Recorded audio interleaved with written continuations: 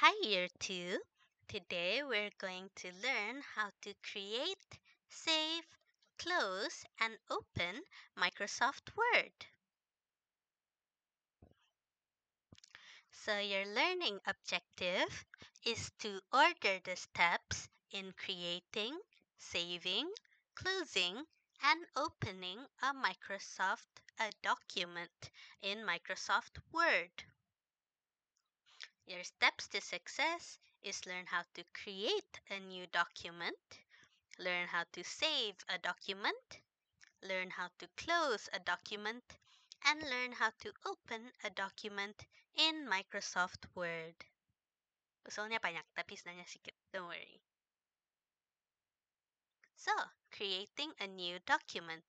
First, you have to click on the Office button. So, yang butang to. Then, select New for a new document. Then, click on Blank Documents. And then click Create. Atau buat dokumen baru. Next, how to save a document.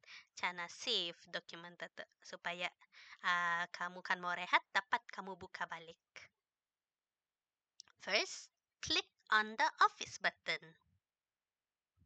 Then, select click on Save if the document has been saved before. So, if kamu pernah uh, save dokumen itu, takkan saja save and then ya terus buatkan. Atau save as if the document is being saved for the first time.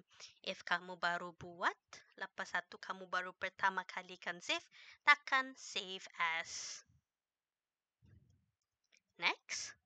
Type a name for the document if it is being saved for the first time. Mesti bagi nama arah dokumen itu. And then, baru click on save. So, if sini, nama kamu punya file itu. Next, closing a document. Menutup dokumen.